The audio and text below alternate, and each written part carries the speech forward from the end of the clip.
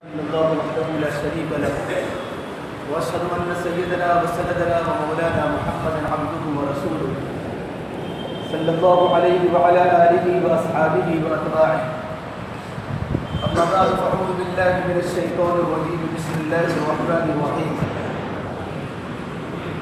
الذين امنوا ولم يلبسوا ايمانهم بظلم اولئك لهم الامن وهم مهتدون. وقال النبي صلى الله تبارك وتعالى عليه وسلم يا ابن الخطاب اذهب فنادي في الناس إنه لا يدخل الجنة إلا المؤمنون. أو كما قال النبي صلى الله تبارك وتعالى عليه وسلم.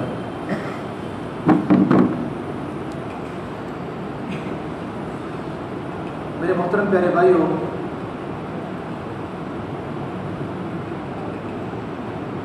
دیکھو، اللہ تبارک و تعالیٰ کی دین کی بات و عظمت کے ساتھ سننا یہ باتوں کا ادب ہے۔ جسے مولانا نے مجلس کے پورے آداب ہمارے سامنے بیان کیے اللہ تعالیٰ ان تمام باتوں پر ہمیں عمل کی توفیق عطا فرمائے ہمیں کیسے سننا ہے؟ جس طرح صحابہ نے اللہ کے نبی سے سنا، صلی اللہ علیہ وسلم۔ اس لیے کہ جتنا عظمت کے ساتھ بات سنی جاتی ہے، اتنی عظمت کے ساتھ بات دل میں اترتی ہے۔ اور جو بات دل میں اترتی ہے وہ بات زندگیوں میں آتی ہے۔ صحابہ کرام کے بارے میں قرآن میں لکھا ہے، سمعنا و تعنا صحابہ کی صفت تھی سننا اور اطاعت کرنا۔ بات کو سننا اطاعت کے ساتھ اور بات کو سننا عمل کی نیت کے ساتھ۔ کہ ہم بات کو اطاعت کے ساتھ سنیں گے۔ اور جو بات اطاعت کے ساتھ سنی جاتی ہے، وہ سننے کے بعد ان باتوں کا مذاکرہ ہوتا ہے۔ اور جو باتیں اطاعت کے ساتھ نہیں سنی جاتی، ان باتوں کے سننے کے بعد تبصرہ ہوتا ہے۔ اور تبصرہ سے دل پھٹتے ہیں اور مذاکرہ سے دل بنتے ہیں۔ کہ ایمان کا مذاکرہ ایمان والوں کو نفع دیتا ہے۔ مدد کے فعین ذکر تنفق المؤمنین کہ دین کا آپس کے اندر مذاکرہ کیا کرو۔ کہ دین کا آپس کے اندر مذاکرہ کرنا اور دین کی باتوں کا یاد دہانی کرانا، وہ ایمان والوں کو نفع دیتا ہے۔ علماء نے لکھا ہے کہ دین کی باتوں کا دو انسانوں کو نفع نہیں ہوتا۔ ایک کافر کو نفع نہیں ہوتا اور ایک منافق کو دین کی باتوں کا نفع نہیں ہوتا۔ ایمان والوں کو یقیناً اللہ تبارک و تعالیٰ دل میں باتوں کو اتارتا ہے دین کے مذاکروں کے راستے سے۔ یہ صحابہ فرماتے تھے، ہم نے تو اللہ کے نبی کے ہاتھ پر اس بات پر بیعت کی تھی، سنیں گے اور مانیں گے۔ بایعنا علی یدی رسول اللہ صلی اللہ علیہ وسلم علی السمع والطاعہ کہ ہم نے تو اللہ کے نبی کے ہاتھ پر اس بات پر بیعت کی تھی کہ یا رسول اللہ، ہم تو آپ کی باتوں کو سنیں گے اور مانیں گے۔ اور صحابہ نے جیسے سنا، ویسا ہی آگے پہنچایا۔ کوئی تبدیلی نہیں۔ الفاظ کی بھی تبدیلی نہیں۔ معانی کی بھی تبدیلی نہیں۔ صحابہ نے جیسا حضور سے سنا، ویسا صحابہ نے تابعین کو پہنچایا۔ من وحن زبر زیر کی بھی غلطی نہیں، عربی تکلم میں۔ اور جیسا تابعین نے صحابہ سے سنا، ویسا تابعین نے طب تابعین کو پہنچایا۔ اس لیے ہمارے اسلام میں صنعت کی بہت بڑی قدر ہے۔ یوں کر کے باتیں ہمارے تک پہنچتی رہی صحیح صنعت کے ساتھ۔ اور دین صحیح صنعت کے ساتھ ہمارے تک پہنچا ہے۔ جیسے کہ دین کا کام بہت بڑی امانت ہے۔ اور امانت کا حق ہوتا ہے کہ امانت کی حفاظت کرے۔ جب ہم صحیح سنیں گے تو صحیح پہنچائیں گے۔ عمل کی نیت کے ساتھ بات کو سننا ہے اور مبلغ بن کے اٹھنا ہے کہ جو باتیں سنیں گے ہم آگے تک پہنچائیں گے۔ اور نیت کرنی ہے پورے عالم میں پہنچانے کی۔ کہ پورے عالم میں بات کہاں پہنچ کیسے پہنچائیں گے؟ جہاں تک ہمارا بس چلے گا، وہاں تک ہم باتیں پہنچائیں گے۔ اور جگہ ہم نہیں پہنچا سکتے، وہاں اپنی مسجدوں میں افراد بنائیں گے۔ افراد بنا کر، جماعت بنا کر جماعتوں کو آگے بھیجیں گے۔ جماعتیں آگے جا کے ہندوستان میں باتیں پہنچاتی رہے اور وہ باتیں ملکوں میں چلے کہ نظام الدین کی باتیں ملکوں میں چلی کہ نظام الدین کے مرکز والے پورے عالم کو سناتے ہیں۔ کہ وہ عالم کی سنانے کی نیت سے بیٹھتے ہیں، اس لیے آدمی اپنی دل کی نیتوں کو وسیع کر کے بیٹھے۔ تنگ نہیں۔ اللہ تبارک و تعالیٰ کی مدد بندوں کی نیتوں کے ساتھ ہے۔ بندہ جیسی نیت کرتا ہے، ویسے اللہ تبارک مطالع فیصلے کرتے ہیں۔ شیخ الحدیث مولانا محمد سکر صاحب نے لکھا، اپنی کتاب میں آپ کی لکھا ہے کہ میرے چچا جان مولانا محمد الیاس صاحب رحمۃ اللہ علیہ بغیر نیت کے کبھی چائے نہیں پیتے تھے۔ اتنا بڑا نبوت کا عمل عمل دعوت کہ جس کے پیچھے اللہ تعالیٰ نے ہماری ہدایت چھپائی ہو اور اللہ نے پورے عالم کی ہدایت کے چھپانے کے خزانے رکھے ہو، آدمی کبھی بغیر نیت کے نہ بیٹھے۔ اس لیے میرے بھائی وہ عمل کا دار و مدار نیتوں پر ہے۔ آدمی کی جیسی نیتیں ہوگی، ویسا زندگی میں عمل آئے گا۔ اور حدیث پاک میں لکھا ہے کہ مومن قبر سے اپنی نیت کے مطابق اٹھے گا۔ مومن جو اٹھے گا قبر سے اپنی نیت کے مطابق اٹھے گا تو اس کی جو نیت ہوگی وہ نیت باہر آئے گی۔ اللہ تبارک بتانا اس کے عملوں کو نیتوں کے ساتھ تولیں گے۔ کہ آخرت میں انسان کا جسم نہیں تولا جائے گا، بلکہ آخرت میں انسان کا عمل تولا جائے گا۔ اور اللہ تبارک و تعالیٰ کی بارگاہ میں وہ عمل قبول ہے جس عمل کے پیچھے نیت صحیح ہو۔ اگر نیت میں گڑبڑی ہے تو عمل میں گڑبڑی۔ ایک شہید کا اللہ کے راستے میں شہید ہونے کے باوجود جہنم میں جانا اور ایک عالم دین کا علم پر علم جاننے کے باوجود جہنم میں جانا اور ایک مالدار کا مال لوٹاتے لوٹاتے بھی جہنم میں جانا، یہ کون سی بنیاد تھی کہ اخلاص کی نیت کی کمی تھی؟ نیت میں گڑبڑ تھی۔ مطلب فرماتے تھے کہ نیت میں کمی پیدا ہوتی ہے ایمان کی کمزوری کی وجہ سے۔ اعمال میں ریا داخل ہو جائے گا، ایمان کی کمزوری کی وجہ سے، یقین کمزور ہو جائے گا، تو عمل میں ریا پیدا ہوگا۔ کہ تبلیغ بھی ریا سے ہوگی، بیان بھی ریا سے ہوگا، ہمارا سننا بھی ریا سے ہوگا۔ اور سب سے بڑی بدترین عمل اللہ تعالیٰ کی بارگاہ میں انسان کا عمل وہ ہے جو ریا سے بھرا ہوا ہو۔ میرے نبی نے فرمایا، قرآن کریم کی تفصیل میں، فمن کان یرجو لقاء ربه فليعمل عملا صالحا ولا بعبادت ربه کی تفصیل میں لکھا ہے، ایک انسان نماز پڑھتا ہے، نماز۔ اور اچھا، اچانک اس کے پاس کوئی انسان ایسا آ گیا جو بزرگ ہے۔ اللہ والا ہے، جو نماز کا پابند ہے، تو اس نے اپنی نماز کی حیت کو بدلا۔ رکو میں تھا، تو رکو کی حیت کو بدلا کہ میرے قریب میں نماز پڑھنے والا عالم ہے۔ یا نماز کا پابند انسان ہے جو سید کو جانتا ہے، تو اس کی نماز شرک والی ہے۔ کہ اس کی نماز میں اللہ تبارک و تعالیٰ کے ساتھ اپنے پاس بیٹھنے والے نمازی کو شریک کیا، وہ نماز اللہ کی بارگاہ میں قبول نہیں ہوتی۔ معاذ بن جبل رضی اللہ تعالیٰ عنہ ایک مرتبہ اللہ کے نبی کی قبر کے پاس بہت دیر تک روتے رہے۔ بڑے صحابی ہیں۔ کہ قیامت کے میدان میں علماء کا جھنڈا معاذ بن جبل کے ہاتھ میں ہوگا۔ بڑے بہت کم بولتے تھے وہ صحابی۔ اور میرے نبی نے فرمایا، جس انسان کو کم بولنا آ گیا، اس کی زبان سے اللہ حکمت کے چشمے پھوڑے گا۔ کہ کم بولنا یہ صحابہ کی صفت تھی، صحابہ کو بلانا پڑتا تھا۔ کہ دنیا کی باتیں صحابہ کم بولتے تھے، دین کے مذاکرے خوب کرتے تھے۔ آج میرے بھائی، معاف کرنا، عمل کی جگہ لے لی باتوں نے اور محنت کی جگہ لے لی مذاکروں نے۔ کہ عمل کی جگہ باتیں یہ دین سارا کا سارا عمل کا نام ہے، باتوں کا نام نہیں ہے۔ باتوں سے باتیں زندہ ہوتی ہیں اور عمل سے عمل زندہ ہوتا ہے اور نیکی سے نیکی زندہ ہوتی ہے، بدی سے بدی زندہ ہوتی ہے۔ اسی طرح قربانی سے قربانی زندہ ہوتی ہے۔ کہ عمل کی جگہ باتیں آ گئی اور محنت کی جگہ، کہ محنت کی جگہ مذاکرے آ گئے، مشورے، کہ مشورے کرتے رہو، محنت نہیں۔ فجر کی نماز کے بعد ہمارا مشورہ، کبھی آدھا گھنٹہ، کبھی ڈیڑھ گھنٹہ، کبھی ایک گھنٹہ، اتنا لمبا مشورہ کیوں کہ محنت کا مذاکرہ ہو رہا ہے، محنت کچھ نہیں۔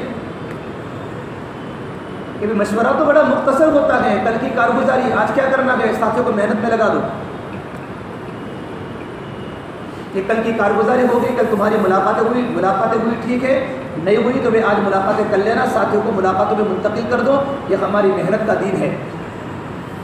صحابہ کرام نے دو طرح سے دین لیا، حضور سے صحبت کا بھی دین، محنت کا بھی دین۔ اور صحبت کا دین بڑا پکا ہوتا ہے کہ اللہ کے نبی نے صحابہ کے پاس بہت دیر تک بیٹھتے تھے۔ اس طرح ہم بھی اپنے آپ کو علماء کے اور اپنے بڑوں کے تابع کریں۔ یہ صحبت کا دن ملے گا، کہ صحبت کا دن بہت پکا ہوتا ہے۔ جب صحبت کا دن پکا ہوگا تو محنت کا دن بھی پکا ہوگا۔ صحبت کا دن کچا تو محنت کا دن بھی کچا۔ سے میرے بھائیوں، اللہ تبارک و تعالیٰ تو بندے کے عمل کو دیکھتے ہیں۔ اعملوا فسیر اللہ عملکم۔ عمل کرو، اللہ تمہارے عمل کو دیکھ رہا ہے۔ فا تاکید مال وسط کے لیے ہے۔ عمل کرو، جیسے عمل کرو گے، اسی وقت اللہ تمہارے عمل میں دیکھتا ہے تمہارے دل میں عمل کی نیت کیا ہے۔ سے کرسی پر بیٹھ کر بیان کرنے والے اکثر اکثر میرے بھائی دوستوں بزرگوں وہ ہمیشہ چھری کے کنارے پر ہوتے ہیں۔ آئی بات سمجھ میں؟ نیت میں اخلاص لانا بہت بڑی بات ہے۔ اور ہمارے کام میں موت تک وہی جم سکتا ہے جس کے دل میں اخلاص ہو۔ سمجھ جیسا فرمایا کرتے تھے، اخلاص کی نشانی کیا ہے؟ کہ اخلاص کی ہمارے کام میں نشانی یہ ہے کہ آدمی جس طرح اپنے گناہوں کو چھپاتا ہے، اس طرح آدمی اپنی نیکیوں کو چھپاوے۔ یہ ہمارے کام اخلاص ہے۔ کہ جس طرح آدمی اپنے گناہوں کو چھپاتا ہے، کہ اپنے گناہ کو ظاہر نہیں کرتا لوگوں کے سامنے، بلکہ گناہ کو چھپائے گا۔ جس طرح انسان اپنے گناہوں کو چھپاتا ہے، اس طرح انسان اپنی قربانیوں کو چھپاوے، اپنی نیکیوں کو چھپاوے۔ وہ ہمارے کام مخلص ہے۔ میاں جی بحراب رحمۃ اللہ علیہ، بہت بڑے اللہ والے گزرے گئے ہمارے پرانے حضرات انہوں نے ان کے بیانات بھی سنے ہیں، ان کے مذاکرے بھی سنے ہیں اور ان کی زندگی ان کے سامنے ہے۔ میاں جی بحراب علیہ رحمٰ کی۔ یوسف رحمۃ اللہ علیہ میاں جی کو جماعت کے بھیجا پنجاب میں۔ جبکہ پنجاب میں فتنہ ادھر ارتداد کا بہت سے لوگ مسلمان تھے، کچھ حالات ناسازگار ہوئے ہمارے ملک میں، تو بہت سے لوگوں نے اسلام چھوڑ کر مرتد بن گئے، اسلام سے نکل گئے۔ عملی بھی ارتداد ہوا قولی بھی ہوا، اور ذہنی بھی ہوا۔ اکثر مجمع ذہنی ارتداد کا شکار ہو چکا تھا، لیکن بہت سے لوگ عملی طور پر مرتد ہو گئے۔ فضی رحمۃ اللہ نے جماعت روانہ فرمائی میاں جی محراب کے ساتھ پنجاب میں کہ وہاں جا کے کام کرو۔ اور ساتھیوں کے سامنے اسلام کے فضائل اور اللہ کے دین کی محنت کے فضائل اتنے سناؤ اور اسلام سے ہٹنے کی وعید اتنی سناؤ کہ لوگ دوبارہ اسلام پر آمادہ ہو جائے چار مہینوں کی جماعت روانہ فرمائی، ہمارے میرے بھائیو، چار مہینہ وہ چلہ کیلنڈر کا نہیں ہوتا، بلکہ ہمارے یہاں محنت کا دن اور عمل کا دن ہوتا ہے۔ کہ کسی بھی جگہ جاؤ تو بستی میں کام جمع کے آؤ بستی میں کام کو جمانا اور کام کو، کام کے ذریعے بستی کو اٹھانا۔ میاں جی محراب نے بہت بڑا کام کیا۔ پنجاب کے علاقے میں۔ اور چار مہینوں کی جگہ پر چھ مہینے لگائے چونکہ کام سامنے تھا۔ دین سامنے نہیں تھے۔ ہمارے ہاں دین سامنے ہوتے ہیں، کام سامنے نہیں ہوتا۔ جب کام سامنے ہوگا، اسے مجھے سے فرما کرتے تھے جو جماعتیں جب واپس آتی ہیں، واپسی میں جماعتوں کی جو کیفیت ہوتی ہیں، اگر جاتے وقت کی کیفیت بن جاوے، تو اللہ ایک جماعت سے اللہ پاک علاقے کے علاقے اٹھا دے کہ ساتھی خوش ہوتے ہیں سروں میں، سفید بال والے لال مہندی لگاتے ہیں گھر پر جانا ہے۔ واپسی میں، حالانکہ میرے بھائیوں، جس علاقے میں ہماری جماعت نے کام کیا ہے، وہ علاقہ میں کام نہیں ہوا، تو ہمارے قدم جو وہاں سے اٹھتے ہیں نا تو آدمی کا دھڑکتا ہے کہ میں نے کام نہیں کیا، میرا وقت گزرا ہے۔ بستی کو اٹھانے کا نام تبلیغ ہے۔ میاں جی محرام نے بڑا کام کیا، الحمدللہ۔ اللہ نے ان کی محنت پر اور ان کے راتوں پہ تڑپنے پر اور ان کی فکروں پر ہزاروں انسانوں کو اسلام میں اللہ نے دوبارہ واپس لائے اللہ پر لوگ منتقل ہوئے اسلام کی طرف۔ آدمی جب نیکی کر کے خوش ہوتا ہے، ایمان کی نشانی ہے۔ ایک صحابی نے پوچھا، اللہ کے نبی ایمان کیا ہے؟ مل ایمان؟ ایمان کیا ہے؟ تو آپ نے فرمایا ادا سرت حسنت کا و ادا سعت کا سید کا فان مومن. جب تجھے نیکی کر کے خوشی ہو اور گناہ کر کے تجھے رنج ہو، سمجھ تو ایمان والا ہے، تو مومن ہے۔ گشت کر کے خوشی ہو، نماز پڑھ کے خوشی ہو، پن غصہ میں آنے کی خوشی ہو، اللہ کے دین کی دعوت کی خوشی ہو، نیکی کر کے خوشی ہو اور گناہ کر کے تیرا دل غمگین ہو جائے۔ سمجھ تو ایمان ہے، تیرا ایمان کامل ہے، ایمان۔ فن تمومن تو مومن ہے۔ علماء نے لکھا ہے، انسان جب گناہ کر کے بھی خوش ہوتا ہے، کہ گناہ کر کے خوش ہوا، غیبت کر کے خوش ہوا کسی کی تنقید کر کے خوش ہوا تو اللہ تبارک و تعالیٰ اس کے صغیرہ بھی قبائر کر دیں گے، چھوٹے گناہ بھی بڑے بن جائیں گے۔ اور بڑے گناہ کے بغیر توبہ کے کبھی معاف نہیں ہوتے۔ حضرت جی کے میاں جی محراب کے دل میں خوشی ہوئی کہ اللہ نے بڑا کام لیا ہے دین کا۔ تو خوشی خوشی نظام الدین واپس آئے، مرکز پر چھ مہینہ وقت لگا کر۔ چار مہینوں کی جماعت ہے، چھ مہینہ وقت لگا کر آئے۔ جب آئے نظام الدین میں ساڑھے بارہ بجے تھے۔ حضرت مولانا رحمۃ اللہ علیہ کی تقریر ایمان فروغ چل رہی تھی، مولانا کا خطاب چل رہا تھا، مذاکرے ہو رہے تھے ایمان کے۔ اور حضرت جی رحمۃ اللہ علیہ اللہ کے راستے میں نکلنے والے ساتھیوں کو ہدایات فرما رہے تھے۔ یہ جماعت بھی مرکز میں آئی اور ہدایت سنتے رہی روانگی کی۔ جب بات پوری ہوئی تو لوگ مرکز میں ملاقات کرتے ایک بجے بزرگوں سے۔ حضرت جی کا مسافہ ہو رہا تھا کہ میرا جی محرام کے دل میں خوشی تھی۔ حضرت جی ہماری جماعت کی کارگزاری لیں گے، ہمیں بڑی خوشی ہوگی۔ کیونکہ کام اچھا کیا تھا اور خوشی ہونی بھی چاہیے۔ جب مسافہ کرتے کرتے جب ان کی باری آئی تو حضرت جی نے ان کی طرف دیکھا ہی نہیں۔ میاں جی محراب کی طرف، علی رحمٰ کی طرف۔ تو میاں جی سمجھے کہ حضرت جی نے مجھے پہچانا نہیں۔ اسے مستقل میں کمرے میں جا کر اثر کے بعد حضرت جی کی ملاقات کروں گا۔ جماعتوں نے کہا، تم سے تمہاری طرف دیکھا کیوں نہیں حضرت؟ حضرت جی نے کہ شاید حضرت جی نے مشغولی میں مجھے پہچانا نہیں۔ چونکہ مجمع زیادہ ہے۔ عصر کی نماز کے بعد جب ملاقات میں گئے، تو حضرت جی نے فرمایا، مولانا عصر رحمۃ اللہ نے فرمایا میاں جی تمہاری ملاقات صبح میں ایک بجے ہو چکی ہے۔ سمجھتے ہو بات؟ کام کیسے کرنا میں آپ کو سمجھاتا ہوں، اللہ مجھے توفیق دے۔ کہ تمہاری ملاقات صبح میں ایک بجے ہو چکی ہے۔ بس میاں جی محراب کا دل ٹوٹا ایک ایسی تکلیف ہے کہ یا تو کوئی عزت نہیں کرتا۔ کوئی عزت نہیں کرتا، کوئی آؤ بھگت نہیں کرتا، کوئی خیر مقدم نہیں کرتا۔ میرے بھائی ہمارے ہاں کاٹوں کے سن ہیں، ہمارے فونوں کے سن نہیں ہے اس کام کی بنیاد بھی مجاہدہ، اس کام کی انتہا بھی مجاہدہ۔ اب حسب تم اب تر خود الجنت ورما یاتکم اللہ نے اللہ نے تفسیر کھولی ہے، مثل الذین خلو من قبلکم مستهم البعصاء والضراء والزلزلوا حتى يقول الرسول والذین آمنوا معه متى نصر الله؟ الا ان نصر الله قریب بغیر مجاہدے کیے ہوئے جنت چاہیے، بغیر تکلیف اٹھائے ہوئے جنت چاہیے نہیں مل سکتی۔ کیا تم یہ گمان کرتے ہو؟ ولما یاتکم تم نے کچھ کیا نہیں اور جنت کے طلبگار ہو ان تدخلوا الجنہ اللہ پھر بندوں سے، ایمان والوں سے کہہ رہا ہے کہ دین بڑی قربانی سے چمکا ہے۔ حضرت فرماتے تھے، جب بھی دین چمکا ہے، قربانی سے چمکا ہے۔ اور جب بھی دین چمکے گا، قربانی سے چمکے گا۔ اگر امت میں قربانیاں ہوگی، اللہ تبارک و تعالیٰ خطرات کے ماحول میں امت کی حفاظت کرے گا۔ اگر قربانیاں ختم ہو جاوے گی، اللہ بادشاہت کے ماحول میں امت کو مٹائے گا۔ اللہ تعالیٰ بندے سے قربانی مانگتے ہیں، اللہ کو پیارے کی قربانی۔ فرشتوں کو نہیں ملتا یہ جذبہ انسانی نصیبہ ساتھ دیتا ہے وہی دیتے ہیں، قربانی۔ اللہ کو پیاری ہے قربانی۔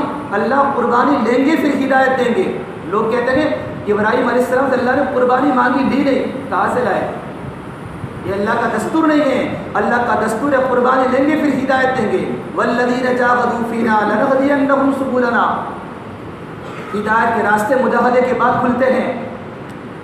وَإِنَّ اللَّهَ لَمَعَ الْمُحْسِنِينَ۔ اور اللہ تبارک و تعالیٰ کو نیکی پسند ہے، قربانی کی، اور قربانی والوں میں سے اللہ تبارک و تعالیٰ کی معیت ہے نیکی کاروں کے ساتھ۔ تو آئے حضرت جی میاں جی محرام، بہت بڑے اللہ والے، جن کے کتنے وقت رک چکے ہیں، کام میں بڑھ لگنا بہت آسان ہے، کام میں لگے رہنا بہت مشکل ہے۔ کام میں لگے رہنے سے اللہ سے دعائیں کرنی پڑتی ہیں۔ یہ تبلیغ میرے بھائی میری اور آپ کی ذات کے لیے حضرت فرماتے تھے، داعی کی دعوت خود اس کی ذات کے لیے ہے۔ کبھی بھی دوسروں کی اصلاح کا جذبہ اپنی ذات کو کبھی نہ بلا دے۔ اس عمر ابراہیم فرماتے ہیں، آدمی کام سے دو دو وجہ سے کرتا ہے۔ کام کرنے والے ساتھی جو کرتے ہیں مشورے سے۔ کبھی مشورے سے کرتا ہے، کبھی گشت سے کرتا ہے۔ کہ ساتھی دو دو عمل سے کرتا ہے۔ ایک ساتھی جو کام سے کرتا ہے، گناہوں کی لذت کی وجہ سے کرتا ہے۔ ایک کام بھی کرتا ہے، گناہ بھی کرتا ہے۔ تو گناہوں کی لذت سے اللہ پاک اس کو کام سے محروم کرتا ہے۔ گناہ کی بڑی قسمیں ہیں، تفصیل نہیں۔ آپ علماء سے پوچھیں گناہ کس کو بولتے ہیں؟ میرے نبی نے فرمایا، نیکی کس کو بولتے ہیں؟ کہ البر حسن الخلق، نیکی اچھے اخلاق کا نام ہے۔ اور گناہ کس کو بولتے ہیں؟ وَالْإِثْمُ مَا حَاكَ فِي صَدْرِكَ وَكَرِهْتَ أَن يَتَّرِقَ عَلَيْكِ گناہ کی دو باتیں بتائی، جو تیرے دل کو کھٹ کے وہ گناہ ہے۔ جو تیرے دل کو کھٹ کے کسی بات، تجارت میں، کاروبار میں، ملازمت میں کہ حلال ہے حرام ہے، بات کرنے میں، ہماری نجی گفتگو میں اور معاملات میں، معاشرت میں، جو بات تیرے دل کو کھٹ کے سمجھو گناہ ہے۔ بلکہ تو ماہا کفی صدرک۔ اور آگے بتایا حضور نے بکری تلیغ علیہ الناس۔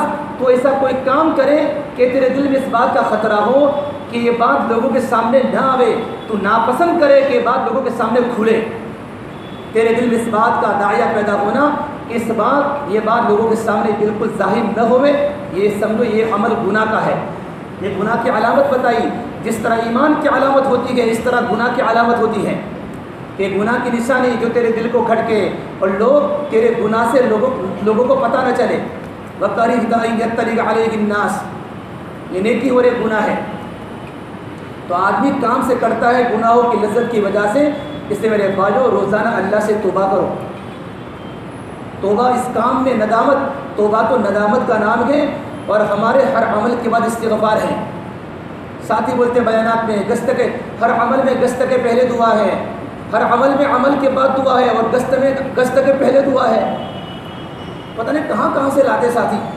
کھانے کے پہلے دعا نے، استنجا کے پہلے دعا نے، سونے کے پہلے دعا نے، یہ سب تبلیغ کے عمل نہیں ہے، یہ سب تبلیغ کے تو عمل ہے ہمارے عمل میں، عمل کے پہلے بھی دعا ہے، عمل کے بعد بھی دعا ہے۔ وہ عمل بڑا کمزور ہے، جس عمل کے آگے پیچھے دعا نہ ہو۔ گست میں گست کے پہلے بھی دعا ہے گست کے بعد دعائیں استغفار ہے۔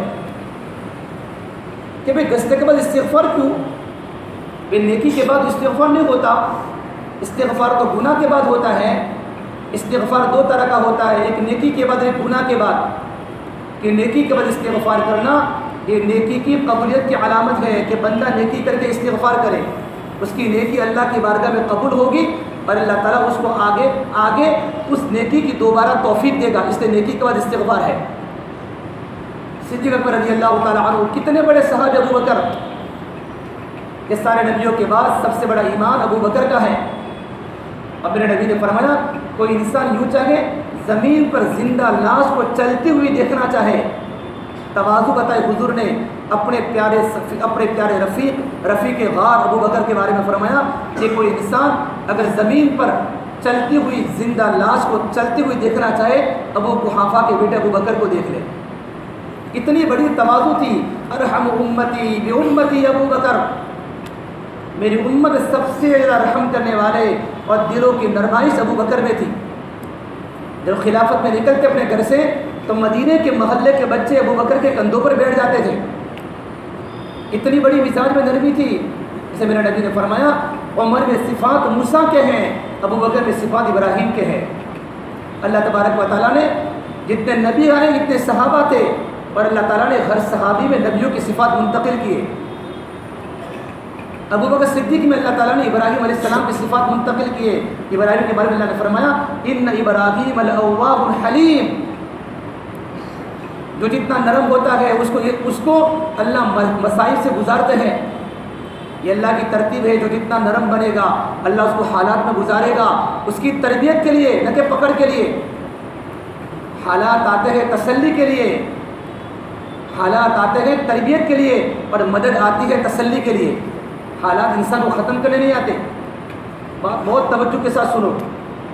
حالات آتے میرے بھائیوں انسان کی تربیت کے لیے تاکہ انسان اللہ تبارک و تعالیٰ کی طرف متوجہ رہیں۔ وَلَنُذِيقَنَّهُم مِّنَ الْعَذَابِ الْأَدْنَى دُونَ الْعَذَابِ الْأَكْبَرِ لَعَلَّهُمْ يَرْجِعُونَ۔ ہم ان کو چھوٹے چھوٹے عذاب کے چٹکے جکھاتے ہیں بہت بڑے قیامت کے منظر کے آنے کے پہلے پہلے تاکہ وہ اللہ کی طرف رجوع کرے۔ بندہ جب کبھی یوں ہو جاتا ہے مال کی وجہ سے تو اللہ اس پر حالات کے تنکے لاتا ہے، حالات کی بارش لاتا ہے تاکہ بندہ اللہ کے متوجہ ہو جائے۔ یہ اللہ تبارک و تعالیٰ کی ترتیب ہے کہ بندہ حالات میں اللہ کی طرف متوجہ رہے۔ بھائیو، ایک کام کا استقبال بہت ہو رہا ہے دنیا میں، جماعتوں کا استقبال۔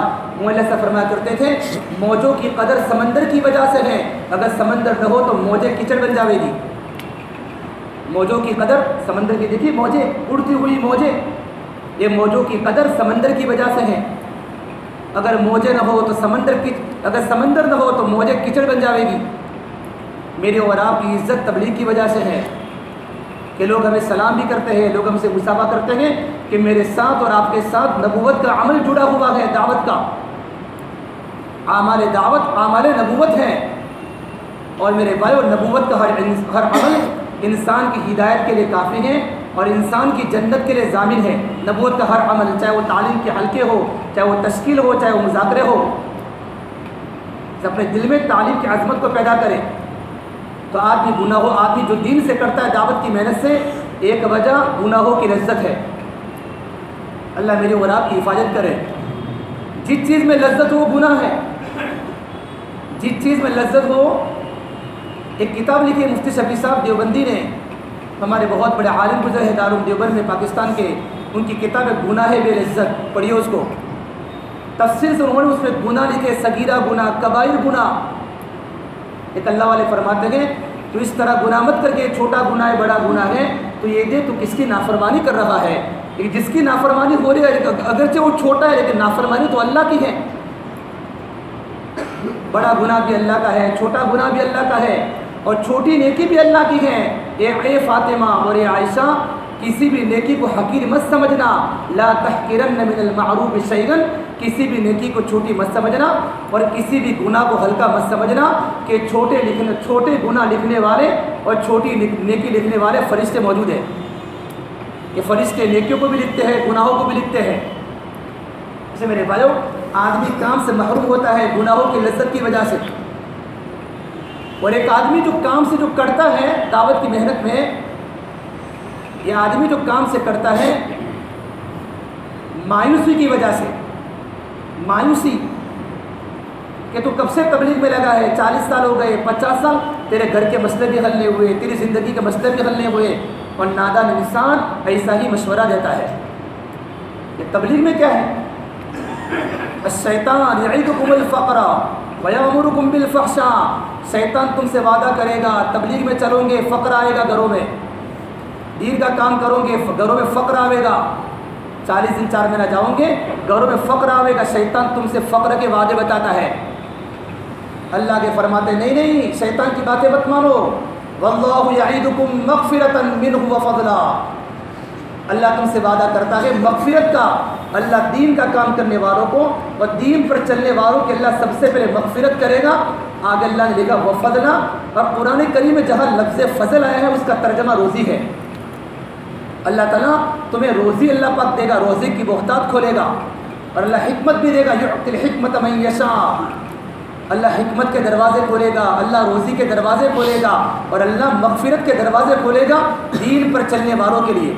یہ اللہ تعالیٰ کا وعدہ قرآن میں ہے۔ اس اللہ تبارک و تعالیٰ نے بعض صحابہ کرام کو بالکل غریب بنا کر دنیا سے اٹھایا، امت کے نمونہ کے لیے۔ اور بعض صحابہ کو اللہ نے مالدار بنایا۔ مسلم عمر رضی اللہ تعالیٰ عنہ بے سر و سامانی کے عالم میں قبر میں گئے، شہید ہوئے۔ وحد کے موقع پر اتنے بڑے صحابی مالدار مسلم عمر رضی اللہ تعالیٰ عنہ اور حضرت امیر حمزہ سعید الشہدہ ان دونوں کا کفن مکمل نہیں تھا۔ اللہ یہ بتانا چاہتے ہیں کہ قربانی دیتے دیتے اس حالت قدر موت میں آ سکتی ہے۔ تاکہ امت کا نمونہ بنے کہ ستر سال تبلیغ میں لگا لیکن گھر نہیں بنا۔ کہ نمونہ کہ نمونہ امیر حمزہ اور مسلم عمیر ہے۔ صحابہ کو اللہ نمونہ بنایا کہ مسلم عمر رضی اللہ تعالیٰ عنہ اور امیر حمزہ رضی اللہ تعالیٰ شہید ہوئے وحد میں تو دونوں کے پاس مکمل کفن کا ٹکڑا نہیں تھا کبھی سر سر پر اڑاتے تھے پیر کھل جایا کرتے تھے اور پیر تو سر کھل جایا کرتے تھے اللہ کے نبی نے فرمایا یہ دونوں کام کے پکے کارکن تھے پکے کارکن اور امیر حمزہ کے انتقال پر آپ اتنے روئے ہیں کہ آپ کو چکر کھا کر زمین پر گرے ہیں اور آپ نے فرمایا جب اس وقت میرے بھائی مدینہ منورہ کی چھوٹی سی بستی میں جب ستر جنازے آئے ہیں، میں اکثر جنازے مدینہ کے انصار صحابہ کرام کے تھے اور پانچ یا چھ جنازے مکے کے مہاجر صحابہ کے تھے۔ امیر حمزہ مہاجری ہیں جو مکہ چھوڑ کے مدینہ ہجرت فرمائی تھی۔ تو دیکھا کہ مدینہ کی عورتیں اپنے شوہروں کے مرنے پر اور اپنے باپ کے مرنے پر اور اپنے بچوں کے شہید ہونے پر مدینہ کی عورتیں رو رہی تھی امیر حمزہ پر رونے والا کوئی نہیں تھا کیونکہ وہ مکے کے صحابی تھے۔ اللہ کے نبی جب دیکھا تو آپ نے فرمایا، اما ہم فلا بوا کی اللہ اما ہم فلا بوا کی اللہ ہائے میرے حمزہ پر رونے والا کوئی نہیں، ہائے میرے حمزہ پر رونے والا کوئی نہیں۔ اور اللہ کے نبی کے چچا تھے۔ اور آپ نے فرمایا کہ میرے حمزہ کے جتنے ٹکڑے کیے ہیں، جن لوگوں نے میرے حمزہ کے ٹکڑے کیے ہیں، میں ان کا بدلہ لوں گا۔ اللہ نے قرآن میں کہا، وَإِنْ عَاقَبْتُمْ فَعَاقِبُوا بِمِثْلِ مَا عُوقِبْتُمْ بِهِ وَلَئِنْ صَبَرْتُمْ لَهُوَ خَيْرٌ لِلصَّابِرِينَ. کیا قرآن کریم اللہ نے تبلیغ کے منظر کو کھولا ہے؟ سارا سارا دعوت کا میدان قرآن میں ہے۔ نبی جی آپ کو حکم نہیں زیادہ بدلہ لینے کا۔ آپ اتنا ہی بدلہ دے سکتے ہیں جتنا امیر حمزہ کو تکلیف ہوئی ہے۔ لیکن اگر آپ صبر کرو اور معاف کرو تو یہ آپ کی شان کے مناسب ہے، کیونکہ آپ تو اللہ کے نبی ہیں۔ اللہ نے قرآن میں کہا یہ آپ کی شان کے مناسب ہے وَلَئِن صَبَرْتُمْ لَهُوَ خَيْرٌ لِلصَّابِرِينَ وَاصْبِرْ وَمَا صَبْرُكَ إِلَّا بِاللَّهِ۔ اللہ تبارک و تعالیٰ فرماتے ہیں، اگر تمہیں اللہ سے مدد چاہیے، کیا چاہیے بھائی؟ سنتے ہو بات، اللہ سے مدد چاہیے تو دو راستے اللہ سے مدد طلب کرنے کے۔ قرآن اللہ نے کہے، ایک نماز ہے اور ایک صبر ہے۔ ان دو راستوں سے اللہ کی مدد آئے گی ہمارے اوپر۔ وسطین بصبری وسلام اللہ تبارک و تعالیٰ سے مدد طلب کرنا ہے تو صبر سے طلب کرو اور نماز سے طلب کرو۔ لیکن اللہ نے کیا کہا؟ اللہ نماز پڑھنے والوں کے ساتھ نہیں۔ ان اللہ مع الصابرین۔ اللہ صبر کرنے والوں کے ساتھ ہے۔ ہمارے کام میں صبر کا بڑا درجہ ہے۔ اور تبلیغ میں صبر ہی صبر ہے۔ ہمارے یہاں شکایتوں کا کھانا نہیں۔ اس کی شکایت کرو، اس کی شکایت کرو۔ نہیں نہیں۔ تنقید کرنے والے کام سے محروم ہو جاتے ہیں۔ تنقید کرنے والے کام سے محروم ہو جاتے ہیں۔ ہمارے کام موت تک وہ جنتا ہے جو اپنے کوتاہیوں کو دیکھتا رہے۔ جس کا دل جتنا صاف ہوگا، جس کا دل جتنا صاف ہوگا، گناہوں کی لذت سے اور ایمان اور یقین سے منور ہوگا، اس کو اپنے عیب اس پر کھلیں گے۔ یاد رکھنا، یہ اس کے دل کے صفائی کی نشانی ہے۔ آدمی کا دل جتنا صاف ہوگا، اس پر اپنے عیوب کھلیں گے۔ اور آدمی کا دل جتنا گندا ہوگا دوسرے کے عیوب اس پر کھلیں گے۔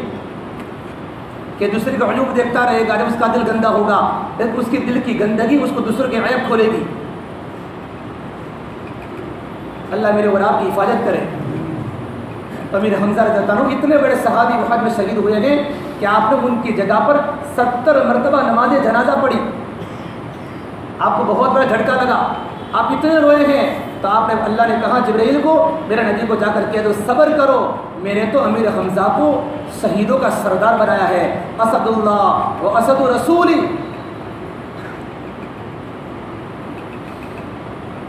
میرے نبیوں کے گھروں میں حالات آئے تبلیغ کی وجہ سے اور نبیوں کے گھروں میں قربانی کا وجود ہوا ہے تبلیغ کی محنت کی وجہ سے۔ تو آدمی کام سے کرتا ہے۔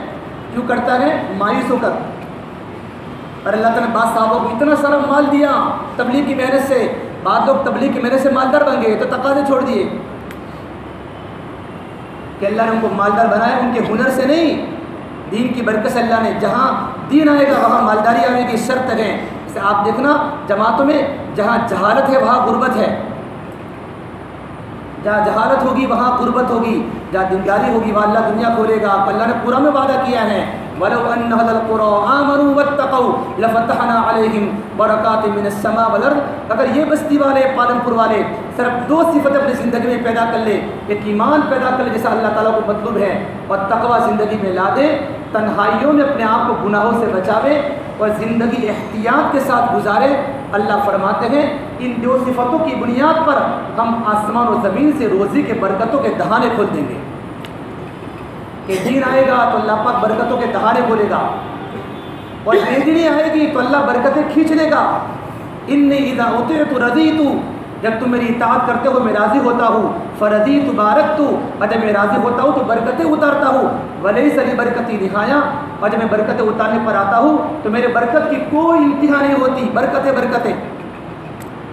وہی دا تم غریب تو جب تم میرا نافرمان بنتے بن جاتے ہو، میرا غصہ وجود میں آتا ہے۔ اللہ فرماتے ہیں وہی دا غریب تو جب میرا غصہ وجود میں آتا ہے تو میں لعنت برساتا ہوں آسمان سے، اور میری لعنت تمہاری سات پشتوں تک چلی رہتی ہے۔ اللہ حفاظت کرے۔ اس طرح دین سات پشتوں تک چلتا ہے، اور دین کی برکات سات پشتوں تک چلتی ہے کہ جب جب جب دیوار جو گرائی خضر علیہ السلام نے وَأَمَّ الْجِدَارُ فَكَانَ لِغُلَامَيْنِ يَتِيمَيْنِ فِي الْمَدِينَ وَكَانَ تَحْتَهُ كَنْزٌ لَهُمَا وَكَانَ أَبُوهُمَا صَالِحًا۔ جب دونوں کا سفر ہوا موسیٰ علیہ السلام کا اور خضر کا سفر ہوا، تو خضر نے دیوار گرائی۔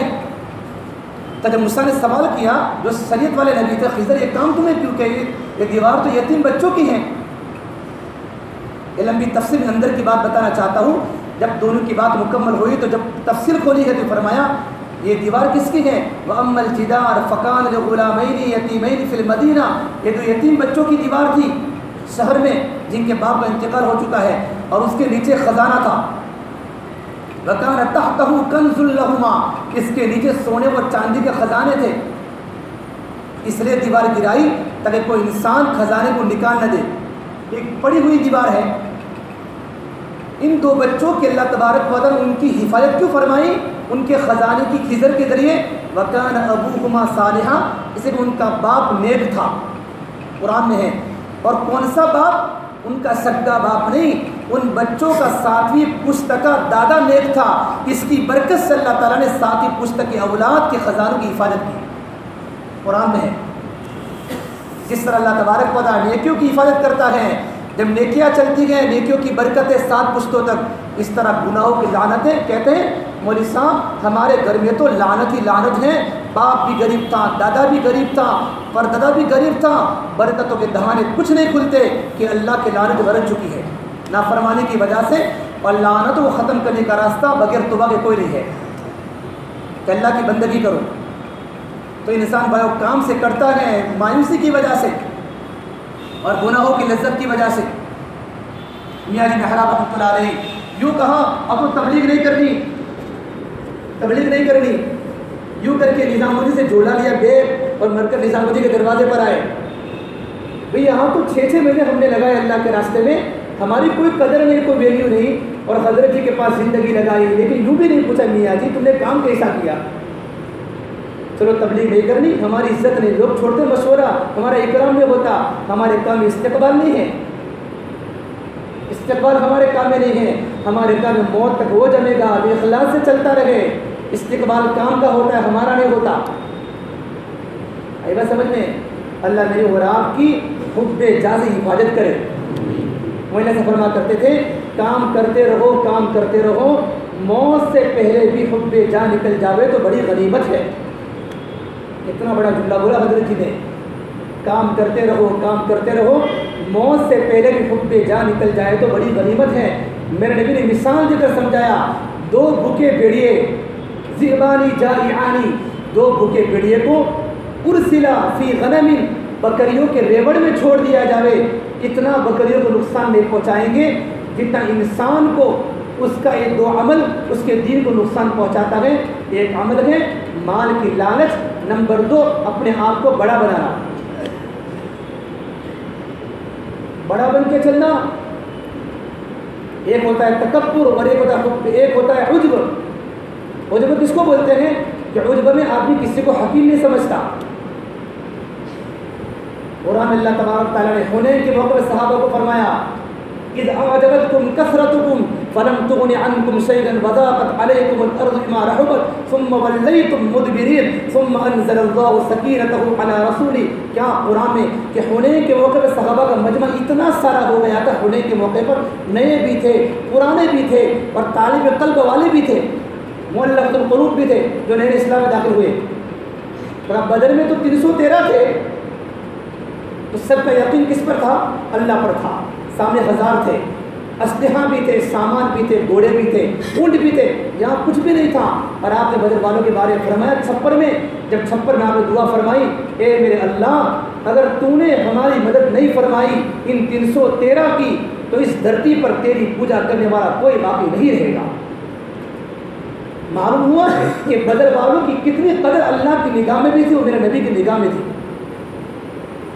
ہونے کے موقع پر سب مل گئے۔ نمان سیم خان سا مکی فرما کرتے تھے رحمۃ اللہ علیہ، جب کام زیادہ پھیل جاتا ہے تو گہرایا کم ہو جاتی ہے۔ علماء زیادہ ہوتے ہیں تو قدر؟ بولو۔ بولو تو صحیح، بولتے ہو نہیں؟ کہ قدر کرتے ہو۔ مولوی صاحب بہت ہے بستی میں، تو قدر کم ہو جاتی ہے؟ ساری بستی میں سب کو کھانسی ہو جاوے، تو کوئی پوچھتا نہیں کسی کو۔ ہاں؟ کہ بابا عام ہو گئی، تو پوچھنے والا کوئی نہیں، کہ بابا عام ہو گئی۔ ہونے کے موقع میں اتنا سارا مجمع ہو گیا اسلام میں داخل۔ تو کسی کے دل میں آیا آ تو جیت ہی جائیں گے۔ بدر میں تین سو تیرہ تب بھی ہماری فتح ہوئی۔ اللہ فرما تم نہیں جیتے۔ لقد نصرکم اللہ ببدر وانتم اذلہ۔ فاتقوا اللہ لعلکم تشکرون۔ تمہارے اللہ نے تمہاری بدر میں مدد کی ہے۔ بلکہ اذلہ کا معنی ہے، تم تو بے کس و سامان میں تھے۔ بے بس تھے بے بس۔ بھائیو، ہمارا تو اللہ ہے۔ ان اللہ معنا۔ اللہ فرماتے ہیں، اب اللہ سے ڈرو تاکہ تم شکریہ ادا کرو۔ اور جو بدر میں جو فرشتے اترے نا، آسمان سے بدر میں، وہ فرشتے بدر زمین پر ہیں، آسمان پر نہیں گئے۔ تفسیر میں لکھا ہے کہ جو فرشتے اترے بدر میں، کتنے اترے تھے بخمسط آلاف من الملائکہ مصوفین بثلاثت آلاف۔ قرآن میں دو جگہ تذکرہ چوتھے پارے میں، تین ہزار اترے اور ایک جگہ پانچ ہزار اترے۔ بدر میں فرشتے۔ وہ فرشتے ابھی واپس نہیں گئے، وہ زمین پر ہیں۔ جب بھی یہ دنیا کا ایک طبقہ تین سو تیرہ کی طرح ہو جائے گا فرشتے مدد پر آ جائیں گے۔ وہ منتظر ہیں مدد کے لیے۔ یہ تین سو تیرہ پر جو فرشتے آسمان سے اترے، ان کی مدد کے لیے وہ فرشتے زمینوں کے اندر ہی گھوم رہے ہیں۔ اللہ نے ان کو آسمان کو واپس نہیں بلایا اور یہ فرمایا، جو یہ کام کرے گا اور جو اس نیت کے ساتھ کام کرے گا، ان کی حفاظت کی ذمہ داری تمہاری ہے۔ یہ زمینوں پر فرشتے گھوم رہے ہیں۔ حنین کے موقع پر عجب آ گیا، عجب۔ عجبہ بولتے ہیں، ہم ہی ہیں۔ آج ہمیں کوئی ہرا نہیں سکتا۔ کیا ہوا؟ ایسا اللہ نے پاسا بلٹا، ارے جیتانے والے بھی ہم ہیں، فتح دینے والے بھی ہم اور تم کو شکست دینے والے بھی ہم ہیں۔ اتنے میرے بھائی، پورا پاسا بلٹا کہ صحابہ کرام کے قدم اکڑ گئے۔ اللہ فرماتے ہیں ولئی تم مدبرین ایسے بھاگے کے پیچھے نہیں دیکھا۔ ولئی تم مدبرین ولئی تم بولتے ہیں، یوں بھاگا۔ مدبرین بولتے ہیں، پیچھے نہیں دیکھا، یوں کر کے بھاگتے رہے۔ کون؟ صحابہ و تابعین۔ حالانکہ زیادہ تھے۔ اللہ کے نبی کھڑے ہوئے ہیں اور آپ فرماتے ہیں، اے انصار، تم کہاں ہو؟ اور آپ حارث حارث ابن ابن عبد المطلیب کے پاس کھڑے ہوئے اور آپ فرماتے ہیں، میں اللہ کا نبی ہوں، میں عبد المطلیب کا بیٹا ہوں۔ تم کہاں چلے گئے؟ پھر آئے پرانے دوڑتے دوڑتے۔ اور پھر یقین بدلا ہے کہ مدد کرنے والی ذات تو اللہ کی ہے۔ پھر جو پاسا پلٹا، اللہ نے مسلمانوں کو فتح دے دی۔ کچھ اس کو بولتے ہیں۔ اور تکبر تکبر تو اس کو بولتے ہیں کہ آدمی دوسروں کو حقیر سمجھے۔ الکبر حمت الناس وبت الحق۔ اس کی تعریف میں مفسرین نے، محدثین نے۔ کبر بولتے ہیں، آدمی حق بات کو قبول نہ کرے۔ کہ حق بات قبول نہیں کرتا، یہ تکبر کی نشانی ہے۔ آپ نے دیکھا کہ انسان سائیکل لے کر جا رہا ہے۔ سائیکل اس کی ٹکرا گئی کسی کے ساتھ؟ تو اس نے کہا، بھائی، سنبھل کے چلو، تو ہم کیا کہتے دیکھتا نہیں ہے۔ یہ تکبر کی نشانی ہے۔ یوں کہتے ہیں معاف کرنا، یہ توازو کی نشانی ہے۔ کہ حق بات تم نے قبول نہیں کی۔ ارے وہ حق بول رہا تھا کہ میں یہاں بیٹھا ہوا ہوں۔ تم صحیح چلتے، لیکن آدمی کے دل میں کبر ہوتا ہوتا ہے۔ وہ سامنے جواب دیتا ہے حق بات قبول نہیں کرتا۔ نمبر دو، تکبر کی دوسری نشانی کیا ہے؟ اور میرے نبی نے فرمایا متکبر انسان جنت میں کبھی داخل نہیں ہوگا۔ توازو بنیاد ہے کہ لوگوں کو حقیر سمجھنا، اہل علم کو اور ساتھیوں کو، غریبوں کو حقیر سمجھنا۔ میرے نبی نے تو اقرائے مسلم کا مقصد کیا ہے؟ یوں کہتے ہیں، اپنا حق معاف کرتے ہوئے دوسرے کے حق کی رعایت کرے ہم اکرام کا مقصد بتاتے ہیں۔ اکرام مسلم کا مقصد یہ ہے، میرے بھائیوں کہ بڑے سے بڑے گنہگار سے محبت کرنا آ جاوے، بنسبت ایمان کے اکرام کا مقصد ہے۔ کہ ایمان والا ہے۔ ایمان والا، اس کے دل میں ایمان کا دانہ ہے، اگرچہ وہ گنہگار ہے، اس کی اکرام اور اس کی عزت ہمارے دل میں بنسبت ایمان کے ادب اکرام کا مقصد ہے۔ کہ گنہگار سے گنہگار سے محبت کرنا۔ ہم گناہ سے محبت نہیں کریں گے، گنہگاروں سے کریں گے۔ صحابہ کرام کا مقولہ تھا نق رحل نق المعاصی لا نق رح العاصی کہ ہم گناہ سے نفرت کرتے گنہگاروں سے نہیں۔ کہ گنہگار اگر توبہ کر لے، آگے نکل جاوے۔ ہیرا ہیرا ہوتا ہے کہ ہیرے پر دھول آج ہیرے کی قیمت بے وقت نہیں ہوتی، کہ دھول ہٹا تو ہیرا ہیرا بن جائے گا۔ اس کے پاس ایمان ہے، ایمان۔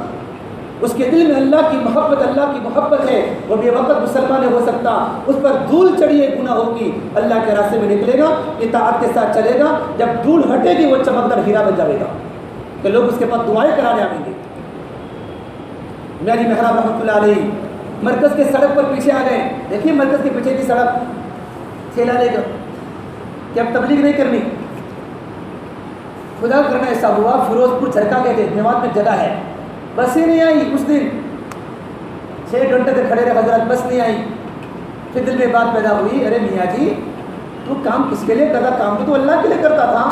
تو نے چھ نمبر بولے ہیں۔ ایمان بولا، نماز بولا، علم و ذکر، اکرم اور اخلاص بولا ہے۔ اور اخلاص کا مقصد یہ ہے، ہماری قربانی اللہ کی رضا کے لیے ہو۔ اللہ پرانوں کو ضائع نہیں کرتا، پرانا بیٹھتا نہیں ہے۔ اس کی فکر اس کی فکر ہوتی ہے۔ حالات سے بیٹھتا ہے وہ۔ ہم ان کی قدر کریں۔ نحترم القدماء، ہم پرانوں کا احترام کریں۔ وہ نحترم العلماء، علماء علم کی عظمت دل میں پیدا ہوگی تو علماء سے محبت ہوگی۔ علماء کا اکرام عمل کی وجہ سے نہیں ہے، علماء کا اکرام علم کی وجہ سے ہے۔ معاشرہ فرماتے تھے، جس طرح قرآن کریم کا دیکھنا عبادت ہے، علماء اکرام کا دیکھنا بھی عبادت ہے۔ علماء کو، دینداروں کو عبادت سمجھ کے دیکھو، علماء کی زیارت کو یہ جملہ میں لے سکتا، علماء کی زیارت کو عبادت یقینی سمجھو کہ علماء کا دیکھنا بھی عبادت۔ مولانا صاحب کا اندر میں نے دیکھا اپنی کتاب میں، جس طرح قرآن کریم اللہ تعالیٰ کا معجزہ ہے اس زمانے میں علماء کرام اللہ کے نبی کے معجزات ایک معجزہ ہے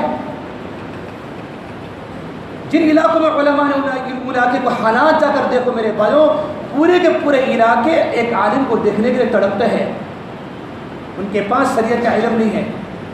ہمارے جماعت رمضان میں اللہ کے راستے میں گلبرگہ گئی۔ چوتھا روزہ تھا۔ دو ہزار دو کی بات کرتا ہوں۔ ساتھی چائے لے کر آئے رمضان میں۔ چائے لے کر۔ میں نے کہا، چائے کیوں لائے ہو بھائی؟ میرا پہلا چلہ تھا۔ ہمارے صاحب نے کہا کہ یہ چائے لے کر آئے ہیں۔ میں کہا، بھائی، چائے کیوں لائے ہو؟ کہ تم مہمان ہو ہمارے۔ ہم چائے پینے کا رمضان پوری بستی میں رمضان کا کسی کو پتہ نہیں تھا۔ یہ ہے جہالت۔ علماء کرام کی زیارت عبادت یقینی سمجھو کہ علماء کا دیکھنا بھی عبادت ہے، تو بس نہیں آئی، دل میں بات پیدا ہوئی کہ اخلاص میں نے کام تو اللہ کے لیے کیا ہے، واپس نظام الدین مرکز پر آئے کھیلا رہے کو، میاں جی نہا علیہ رحمہ۔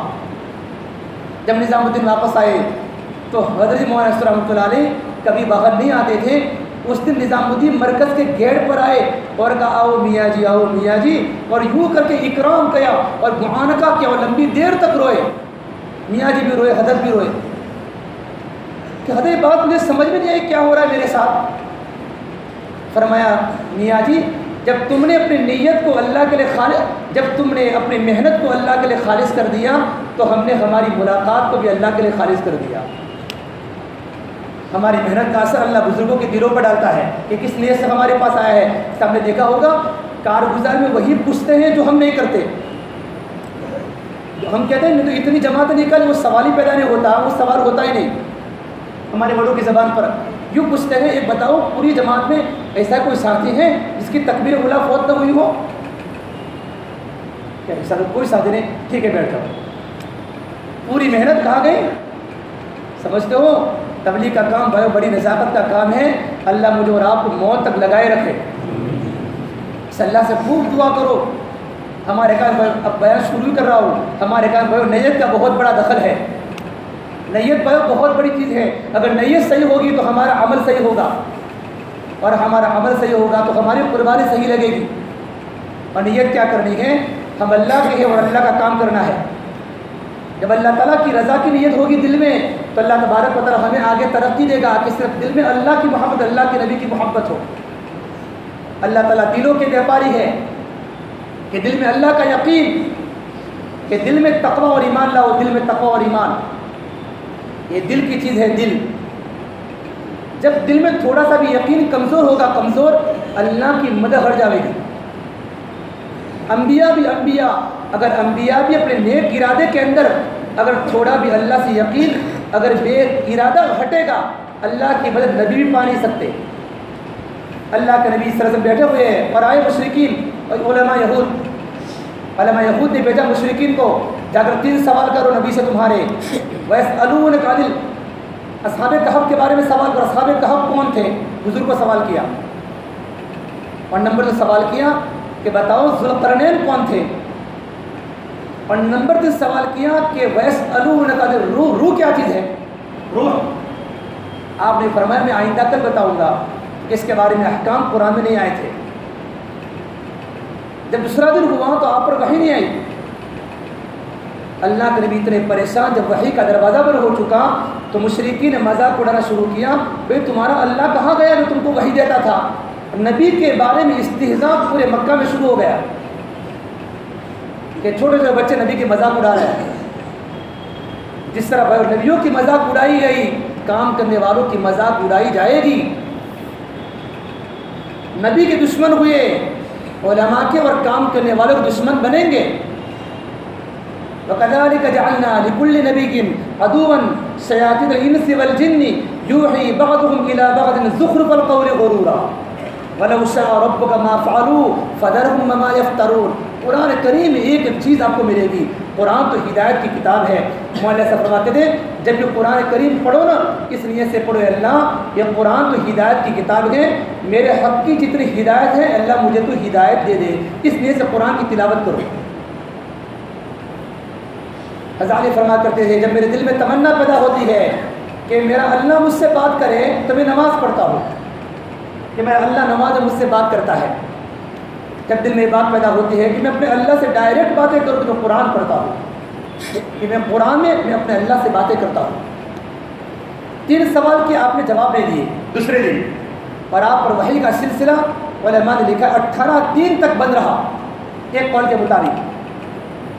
آپ بڑے پریشان، آپ بار بار آسمان کی طرف دیکھ رہے اللہ کیا ہوا؟ وہی نہیں اتر رہی۔ یہ سوال کرتے ہیں، وہ میں سوال کا جواب دے نہیں سکتا، میں آپ کو یہ بتانا چاہتا ہوں۔ اگر نبی بھی اپنے نیک ارادے میں اپنی مشیت کو اللہ کی مشیت کا حوالہ نہ کرے، اللہ کی مدد دیکھ نہیں سکتے۔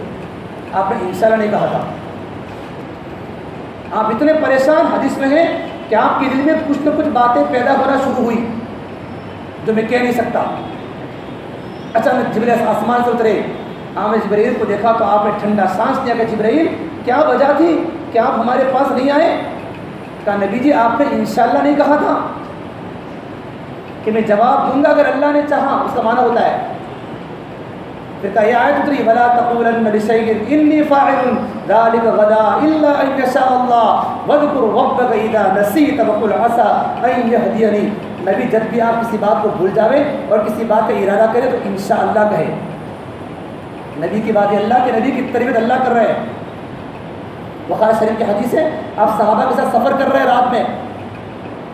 جب رات کا وقت ہوا تو اپنے کا کوئی فجر کی نماز پڑھ لو۔ بلال حبشی بھی ساتھ میں تھے۔ بلال حبشی اللہ کے نبی کی خدمت کے ساتھی تھے۔ امارت ان کے پاس ہوتی تھی۔ تو بلال نے کہا رسول اللہ یہی رہے ہیں کہ نماز فجر میں اکیلی وقت میں پڑھیں گے، آگے چل کے. جبرائیل حضور کے پاس ایک مرتبہ آئے اور نماز کے شروع وقت کی نماز پڑھائی، اول وقت کی۔ اور دوسرے دن آئے جبرائیل اور آ کر اخیری وقت کی نماز پڑھائی۔ اور جبرائیل نے کہا رسول اللہ، آپ کی امت ان دو وقتوں کے بیچ میں نماز پڑھے گی۔ آپ نے کہا، ٹھیک ہے، چلو آگے چلتے ہیں۔ آگے جا کے پڑھا اڑا سو گئے۔ سو گئے تو ایسے سوئے کہ سورج کی کرنیں سورج طلوع ہو چکا۔ نبی ہے حضور خالی شریف دل سالی کی روایت ہے۔ آپ سورج کی کرنوں کی گرمی سے آپ کی آنکھ کھلی۔ ارے بھائی، ہم تو سو گئے۔ کہا، بلال، تم نے کہا تھا میں اٹھاؤں گا۔ بلال تمہیں انشاءاللہ نہیں کہا تھا۔ اگر ایک صحابی اپنی بات میں اگر انشاءاللہ نہ کہیں تو نبی کی موجودگی کے نبی مدد سے رک سکتا ہے۔ اللہ یہ بتانا چاہتے امت کو۔ اپنا ہر کام اللہ کی مسجد پر موقف رہو۔ سلیمان اللہ کے سلیمان ارادہ کے علیہ السلام نے بہت نعمتوں سے اللہ نے نوازا تھا کہ آج تو میں اپنی سب بیویوں پر چکر لگاؤں گا رات کو۔ ساری بیویوں پر، بہت سی بیویاں تھیں۔ مختلف قول، ایک ہزار تھی، کسی نے نو سو کہا کہ میں سب بیویوں پر چکر لگاؤں گا اور جو بچہ پیدا ہوگا اللہ کا دین کا داعی بنے گا اور میں اس کو اللہ کے راستے میں جہاد میں بھیجوں گا۔ نیک ارادہ ہے۔ مجاہد بناؤں گا۔ لیکن انشاءاللہ نے کہا رات کو سبزیوں پر چکر لگایا، کسی عورت کو بچہ پیدا نہیں ہوا۔ ایک عورت کو، ایک دایا کو بچہ پیدا ہوا۔ عورت کو وہ بھی کیسا گوشت کا لوتھڑا، جس کی آنکھ نہیں، جس کے کان نہیں، جس کی زبان نہیں۔ اور وہاں کی دایا نے ایک گوشت کا لوتھڑا سلیمان کے تخت پر ڈال دیا۔ وہ القینہ اعلیٰ کرسی جسد ثم انا اللہ بتانا چاہتے سلیمان نبی بھی اگر اپنی ارادے میں اللہ کی ذات کو نہ رکھے، تو نبی بھی اس بات سے اللہ کی مدد کے بغیر کام نہیں کر سکتا اور گوشت کا لوتھڑا اس لیے رکھا علماء نے اللہ بتانا چاہتے ہیں کہ تمہارے ارادہ میں اگر میری مشیت موقف نہ ہو تو بچہ پیدا نہیں ہو سکتا۔ گوشت کا لودھرا کرسی پر ڈال دیا، تخت پر۔ یقین کے بعد مجھے اور آپ کو کتنی ضرورت ہے محنت کی۔ معیلہ ایسا فرما کرتے تھے، تبلیغ کا مقصد یقین کی تبدیلی ہے اور عمل میں حقیقت کو پیدا کرنا ہے۔ آپ مسجد میں تھے، ابو دردہ رضی اللہ تعالیٰ ابو دردہ مسجد میں تھے۔ تعلیم کے حلقے میں، بخاری میں ہے۔ اور ایک ساتھی دوڑتے آئے۔ یا ابا دردہ۔ کہ کیا ہوا؟ تمہارا گھر جل گیا۔ ہے مشہور روایت، تمہارا گھر جل گیا؟ تو کہا، ماں، میرا گھر نہیں جلا۔ کیا کہا؟ عربی جملہ جملہ بول گیا۔ میرا گھر نہیں جلا۔ وہ صحابی چلے گئے۔ ابھی آپ تعلیم کے حلقے میں تھے اور ایک صحابی آئے، دوسرے، ابو دردہ ان تدریس ہنا آپ کا گھر جل چکا احترک احترک بیتک، آپ کا گھر جل چکا فرم محترک بیتی، میرا گھر نہیں جلا کوئی انسان یوں کہے پارمپور سے باہر آ کر مسجد سے، ارے بھائی تم یہاں بیٹھے ہو، تمہارے گھر میں کچھ ہوا بیان بیٹھے گا۔ ہو سکتا ہے وہ آنے والا جھوٹا بھی ہو، آنے والا سچا بھی ہو۔ ابو دردہ مسجد میں ہیں کہنے والے صحابی رسول ہیں اور یوں دوسری مرتبہ کی خبر ہے، تمہارا گھر جل چکا اطمینان سے بولا بخ کر میرا گھر نہیں جلا۔ تیسرے انسان ہے مسجد میں، یا ابا دردہ آپ یہاں بیٹھے ہو، ارے تمہارا گھر جل چکا محترک بھائی تھی میرا گھر نہیں چلا تعلیم شروع۔ پھر چوتھے انسان آ کا ابو دردہ تمہارے محلے میں آگ لگی تھی۔ جب تمہارا گھر آیا تو آنکھ بجھ گئی۔ لیکن یہ بات بتاؤ، آپ نے کیسے اس یقین سے بولا کہ میرا گھر نہیں جلا؟ یہ کون سے یقین کی بنیاد پر بولا؟ صحابہ کرام نبی کی بات کو یقین سے لیتے تھے۔ یہ فرمایا، میرے نبی نے ایک بات کہی ہے کہ جو انسان فجر کی نماز کا اس دعا کو پڑھتا ہے، اللہ تبارک و تعالیٰ اس کے جان کی، اس کے مال کی، اس کے کاروبار کی حفاظت کرتے، میں نے دعا پڑھی ہے۔ اللهم انت ربي لا اله الا انت، عليك توكلت وانت رب العرش العظيم. ما شاء الله كان وما لم يشاء لم يكن، ولا حول ولا قوه الا بالله العلي العظيم. اعلم ان الله على كل شيء قدير وان الله قد احاط بكل شيء علما. اللهم اني اعوذ بك من شر نفسي ومن شر كل دابه انت اخذ بناصيتها. ان ربي على صراط مستقيم. میں نے دعا پڑھ ڈالی ہے پھر یوں فرمایا، اللہ کی قسم، سارا مدینہ تل سارا مدینہ آگ کی بڑھتی میں جل سکتا تھا، لیکن ابو درگاہ کا مکان کبھی جل نہیں سکتا۔ یقین تھا میرے نبی کی دعا پر۔ صحابہ کرام نبی کی بات کو یقین سے لیتے تھے اور ہم نبی کی خبر کو شک سے لیتے ہیں۔ یہ فرق ہے۔ نبی کی خبر کو شک سے لیتے ہیں اور شک پر ایمان مکمل نہیں ہوتا۔ آپ مسجد میں آئے صبح میں دس بجے مسجد میں، تو آپ نے صحابی کو دیکھا، یوں بیٹھے ہوئے ہیں۔ ابو اما باہلی۔ ان کی انگلی ان کے دو دانتوں کے بیچ میں ہے، یہ علامت ٹینشن کی ہے۔ بیٹے، مسجد میں یوں آپ نے کہا، یا ابا اماما، کیوں ایسے بیٹھے ہو؟ کہ اللہ کے نبی، ایک ٹینشن ہے۔ اصابت لی ہمومن بدیون اللہ کا قرضہ بہت ہے اور گھر کے ساماجک پرابلم ہیں گھر کے مسائل ہیں تھوڑے۔ وہ تو ٹینشن سے گھر چھوڑ کے مسجد میں آیا ہوں۔ مسجد میں نے پایا، ٹینشنوں کے ختم کرنے کی جگہ نہیں ہے۔ مسجد تو ہے ہی جگہ برکتوں کی ہدایت کی۔ اللہ کا وعدہ ہے جو مسجد میں آئے گا، اس کو رحمت دوں گا، اس کو راحت دوں گا۔ ہے نا قرآن میں پورے سرات کا راستہ آسان کروں گا اور اس کو میں جنت دوں گا۔ تو مسجدوں کو آباد کرنے کی محنت کریں گے اور جو مسجدوں میں آئیں گے۔ تو آپ نے کہا وہ میں ایک دعا بتاؤں ایک عمل۔ صحابہ کو نبی کی بات پر یقین تھا۔ اگر تم اس دعا کو پڑھتے رہو گے، اللہ تمہارے قرضوں کو بھی دور کر دے گا۔ اللہ تمہارے گھر کے مسائل کو بھی دور کر دے گا۔ کہ بتاؤ اللہ کے نبی تو آپ نے کہا یہ دعا پڑھو صبح شام تین مرتبہ، اللہم انی اعوذ بک من الغم والحزن، واعوذ بک من العجز والکسل، واعوذ بک من الجبن والبخل، واعوذ بک من غلبۃ الدین وقہر الرجال۔ ابو وہاں فرماتے ہیں اس دعا کو پڑھتا رہا صبح شام، دو ہفتے ہی گزرے تھے، ان کا جملہ ہے اذهب اللہ تعالی عنی دینی وقضا ہمی۔ اللہ نے میرے سارے غم کو بھی دور کر دیا اور میرے سارے قرضے کو بھی دور کر دیا۔ نبی کی بات پر وایو یقین تھا۔ یہ فرق ہے صحابہ ہم میں کہ صحابہ کرام نبی کی بات کو یقین سے لیتے تھے۔ تھوڑا بھی یقین ہٹے گا، اللہ کی مدد نہیں آئے گی۔ یوسف علیہ السلام کو جو الگ کیا، یعقوب علیہ السلام سے۔ ایک روایت میں چالیس سال اور صحیح روایت میں اسی سال۔ یعقوب کو جدا کیا اپنے بیٹے سے اور بیٹے کو جدا کیا باپ سے۔ یعقوب علیہ السلام اپنے بیٹے کی جدائی پر روتے روتے ان کی آنکھیں نابینا ہو چکی تھی۔ اللہم انی اشکو بسی و حسن اللہ اور ان کی آنکھیں وبیزت عیناہ من الحسن فہو قزیم قزیم بولتے میرے بھائیوں کہ وہ اپنی شکایت کبھی کسی کے سامنے کرتے نہیں تھے، بلکہ اپنے اندر کے درد کو اندر لے رہے تھے۔ پیتے تھے پیتے تھے۔ اور ان کی آنکھیں روتے روتے بچے کی فراق میں نابینا ہو گئے تھے۔ کیا وجہ بنی تھی؟ علامہ قرطو تفسیر قرط میں بات لکھی ہے۔ اللہ پاک اپنے نیک بندوں کو آزماتا ہے۔ یوسف علیہ السلام سوئے ہوئے تھے اور ان کا حسن تو مشہور ہے۔ کتنا حسن۔ میرے نبی نے فرمایا، جب معراج میں، میرے سفر کے معراج میں تو میں نے یوسف سے ملاقات کی۔ جب میں نے یوسف کو دیکھا تو میرے دل میں بات پیدا ہوئی۔ تو میں نے جملہ کہا کہ اللہ نے حسن کو تقسیم کیا۔ حضور کا جملہ ہے بخاری کی روایت۔ تو اللہ تبارک و تعالیٰ نے آدھا آدھا حسن پورے انسان پورے عالم کے انسانوں کو دیا۔ اور آدھی خوبصورتی سے اللہ تعالیٰ نے حضرت یوسف علیہ السلام کو عطا کی کتنے خوبصورت ہوں گے۔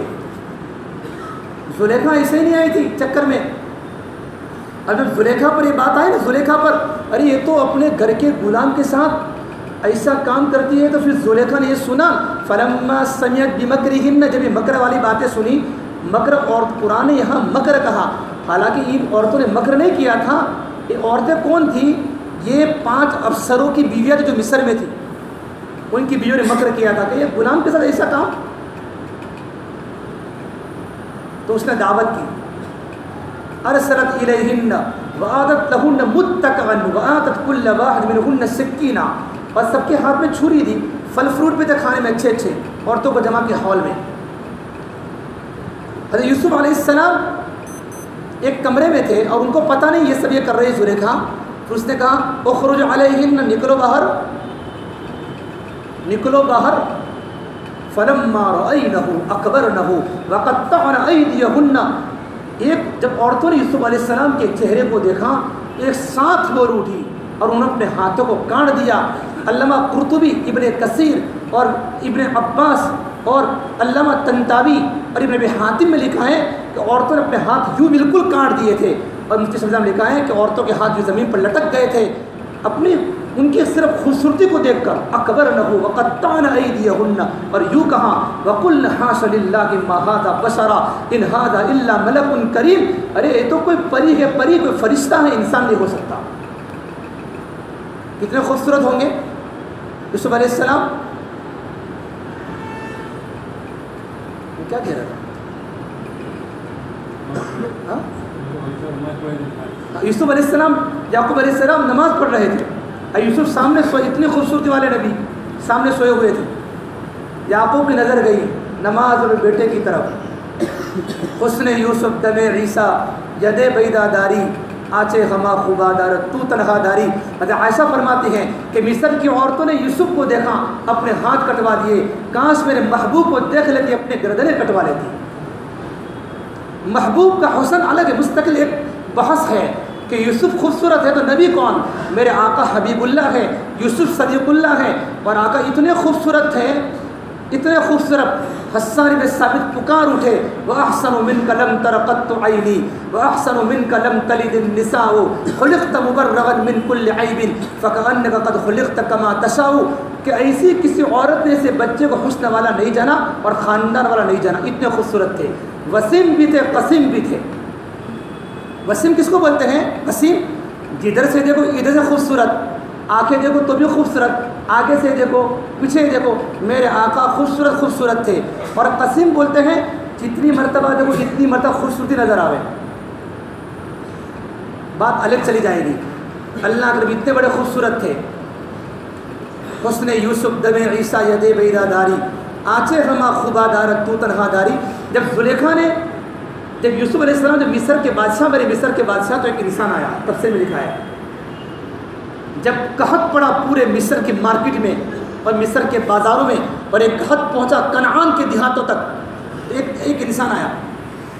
اور اگر یوں کہ یوسف، مجھے دونوں تھوڑا سا غلہ یوسف علیہ السلام ایک کون کے برابر ہر ایک کو غلہ دیا کرتے تھے، اناج۔ تو آپ نے کیا فرمایا؟ بھائی دیکھو، ہمارے پاس بہت سے غریب آتے ہیں، تم آئندہ کل مت ہاتھ لے جاؤ۔ دوسری مرتبہ آیا۔ حضرت یوسف تھوڑے ناراض ہوئے، دیا۔ تیسری مرتبہ آیا، تو یوسف علیہ السلام اور ناراض ہوئے۔ کہ بھائی آئندہ کل مت آؤ۔ اس نے کہا، تم مجھے پہچان تو میں کون ہوں؟ کہ نہ میں نہیں پہچانتا کہ یوسف علیہ السلام جب زلیخا نے آپ پر تہمت لگائی تھی، لمبا واقعہ ہے۔ جب یوسف گھر میں داخل ہوئے، گھر میں، تو زلیخا نے کہا وقورت ہئی تلک ہئی تلک، تو میرے پاس آ جاؤ۔ وحمد بھی وحمد بھی لمبی بات ہے۔ لولا الرغا برحان ربی اگر یوسف علیہ السلام اللہ تبارک و تعالیٰ کی برحان کو نہ دیکھتے، تو یوسف علیہ السلام اس گناہ میں ملوث تو نہ ہوتے ہیں، لیکن ان کا دل مائل ہوتا، چونکہ نبی خطا سے معصوم ہوتا ہے۔ برہان کیا تھی؟ لمبی بات ہے۔ لیکن جب غد یوسف دوڑے اس گناہ سے بچنے کے لیے، تو زلیخا نے پیچھا کیا۔ یوسف دوڑتے گئے، زلیخا پیچھے۔ بڑے بڑے تالے تھے۔ دوڑتے گئے، تالے ٹوٹتے گئے، دروازے کھلتے گئے، ٹوٹتے گئے، دروازے کھلتے گئے۔ اس بچے نے یوں کہا، یوسف، آپ پہچان میں کون ہوں کہ نا میں وہ بچہ ہوں جس میں آپ زلیخا نے تہمت ڈالی تھی اور جس بچے نے آپ کے بارے میں یوں کہا تھا کہ یوسف علیہ السلام سچے ہیں، زلیخا جھوٹے وہ بچہ میں تھا۔ گہوارے میں۔ کہ اچھا تو جب زلیخا پیچھے دوڑی، جب آخری دروازہ آیا، تو یوسف باہر زلیخا پیچھے، تو اسے یوں کر کے دامن پکڑا۔ اب جیسے ہی باہر آئے تو فوراً بادشاہ نے دیکھ لیا، وہ الفیا سید لد الباب۔ بادشاہ نے دیکھ لیا۔ تو فوراً تہمت لگائی۔ کیا کہا؟ زلیخا نے، ما جزا من اراد بہلی کا عذاب نلیم ارے بادشاہ سلامت، یہ آپ کا گناہ میرے ساتھ ایسا کام کرنے کا ارادہ کرتا ہے، اس کی سزا یہ کہ اس کو قید خانے میں ڈال دو یا اس کو دردناک، اس کو کوڑے مارو۔ میں آپ کو ایک بات بتانا چاہتا ہوں میرے بھائی اندر کی۔ اچھا یوسف علیہ السلام فرماتے میں کبھی یوں نہ کہتا اچھا اس نے فوراً کہا قول ہی رو بدتنی عن نفسی اے بادشاہ صلی میرا قصور نہیں ہے، اس عورت کا قصور ہے۔ یہ جملہ کیوں کہا؟ اگر زلیخا بادشاہ کے سامنے اگر میری بات نہ کرتی، تو میں قیامت تک زلیخا کی بات کسی کے سامنے نہ کرتا۔ اس نے کہی تو میں نے اپنی برات ظاہر کی۔ اب بادشاہ، پریشان کون سچا؟ یہ سچا کہ یہ سچا۔ فیصلہ کیسے کرے؟ تو بچہ بولا، جو گہوارے میں سو رہا تھا، گوڑیے میں۔ مہد میں وہ شاہد من اہلہا۔ اور یوں کہتا بچہ کہ یوسف سچے ہیں، زلیخا جھوٹی تو یہ بھی اس کی برات کے لیے کافی تھا۔ لیکن بچے نے ایک وکیلاً اندر نے فیصلہ کیا انکان قمیص ہو قد من قبل فصدقت وہو من الكاذبین و انکان قمیص ہو قد من دبر فقذبت وہو من الصادقین۔ فلما رأى قمیص قد من دبر قال انہو من قید کن ان قید کن عظیم کہ بادشاہ، سلامت دیکھو، اگر یوسف کا دامن اگر آگے سے پٹا ہوا ہے، سمجھو یوسف جھوٹے زلے کا سچے اگر پیچھے سے پٹا ہوا ہے، تو یوسف سچے زلے کا جھوٹی۔ فلما رأى قمیص ہو جب دامن کو دیکھا گیا تو پیچھے سے پٹا ہوا تھا تو فوراً کیا فرمایا؟ ان نحو من قید کن کہ عورت کی مکاری ہے۔ میرے نبی نے فرمایا، شیطان کا مکر کمزور ہوتا ہے، عورت کی مکاری بڑی خطرناک ہوتی ہے۔ ان نہ قید کن عظیم۔ اور شیطان کے بارے فرمایا، ان نہ قید شیطان کان ضعیفہ شیطان کا مکر کمزور ہوتا ہے۔ کہ تو تھا، گواہی دینے والا کہ میں تھا۔ حضرت یوسف اتنے خوش ہوئے اور اعلان کیا اپنے تمام گورنروں کو، کارندوں کو۔ جب انسان جب بھی ہماری مجلس میں آوے، اس کے لیے سارے مصر کے دروازے کھول دو اور سارے گلے کے دہانے کھول دو۔ اس نے میرے نام کو روشن کیا تھا۔ اللہ کو غیرت آئی، آسمان سے اللہ نے جبریل کو جبریل میرے نبی یوسف کو جا کر کہہ دو۔ ایک انسان نے تمہارے نام کو مصر کے مارکیٹ میں روشن کیا۔ تم نے اس کے لیے مصر کے سارے دروازے کھول دیے۔ میرے عزت کی قسم، میرے جلال کی قسم، میرے کبریائی کی قسم، جو انسان میرے نام کو روشن کرے گا اور میرے کلمے کے گن گائے گا اور میری طاقت کو بولے گا اور میرے خزانے کو بولے گا اور میری قدرت کو بولے گا، میری عزت کی قسم میں اس نے جنت کے آٹھوں کے آٹھوں دروازے کھول دوں گا۔ یہ تبلیغ یہی تو سیکھنے کے لیے ہے۔ اللہ نے کہا، یعقوب، تو میرا ہو کر نماز میرے غیر کو دیکھے، تو نے جس کو دیکھا ہے، اس کو میں جدا کر دوں گا، جس آنکھ سے دیکھا اس آنکھ کو میں نابینا کر دوں گا۔ اتنے کثرے میں لکھا ہے۔ اسے میرے بھائیوں، یہ تبلیغ کی محنت یقین کی تبدیلی کی ہے اور یقین کس سے بنتا ہے؟ قربانی سے بنتا ہے۔ لڑسا فرماتے ہیں، دا ایمان دعوت سے بنے گا، دعوت سے ایمان بنے گا اور مجاہدے سے ایمان پکے گا۔ اور اللہ کے راستے میں نکلنے سے ایمان پھیلے گا اور حقوق العباد کی ادائیگی سے ایمان بچے گا۔ حضرت فرماتے تھے، دین دعوت کے راستے سے آئے گا اور معاملات کے راستے دین ختم ہو جائے گا۔ قربانی کی ضرورت ہے، ہم سب قربانی پر آوے۔ اور ہم سب کے سب اللہ کے راستے میں نکلنے والے بنے ہم اللہ کے راستے کے بعد ٹھوکرے کھائیں گے، اللہ کے راستے میں نکلتے رہیں گے۔ اللہ دل میں یقین بھی لاوے گا، توکل بھی لاوے گا، قربانی بھی لائے گا۔ یہ تمام کے تمام صفات میرے یقین والے، تقوی والے، کلمے والے، اطاعت والے، یہ بغیر بھائی قربانی کے پیدا نہیں ہوتے۔ ایسا مشکل میں تیار ہو اس کے بعد نکلنا پڑے گا اللہ کے راستے میں۔ اور بتاؤ ماشاء اللہ سوال کے مہینے جماعت اللہ کے راستے میں جانے والی ہیں۔ سترہ کو یا پندرہ کو جوڑ جماعت پندرہ کو جماعت نکلنے والے ہیں وہ چلنے والے بھی بولے وہ چاول والے بھی کھڑے ہو کے ناموں کو پیش کریں۔